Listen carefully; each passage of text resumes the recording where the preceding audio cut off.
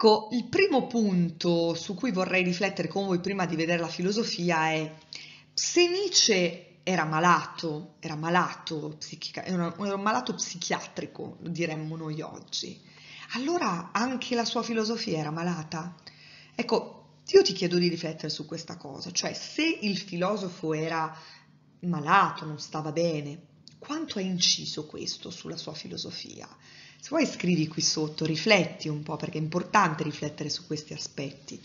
Ecco, eh, quanto ha inciso? Io ti dico quello che penso. Penso che eh, la filosofia di Nietzsche eh, e poi lo vedremo soprattutto con Gottes Tod, cioè che Dio è morto, nasce proprio dalla sua follia, ma è la follia dal quale passano molti uomini. Lui è riuscito attraverso la follia a tirare fuori una creatività, un'innovazione perché è riuscito ad entrare nell'abisso dell'essere umano, per scorgere proprio le nostre debolezze, le nostre fatiche e mm, i nostri punti di domanda che sono che senso ho alla vita, ma Dio esiste, sono tutte domande che ognuno di noi si pone, l'abbiamo visto anche con Pascal, nell'arco della vita, siamo esseri umani e ci rendiamo conto ogni tanto di essere miseri, di essere piccoli, di aver paura di morire, di aver paura di ammalarci, di non avere un senso nella vita.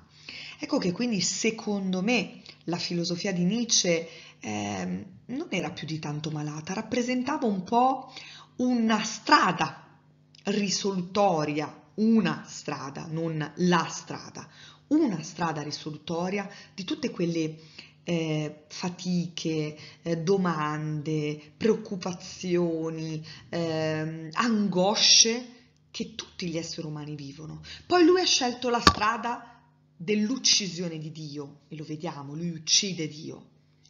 E qualcun altro invece sceglie la strada contraria. Hm? Eh, Pascal l'abbiamo già visto, Sant'Agostino ha scelto una strada contraria.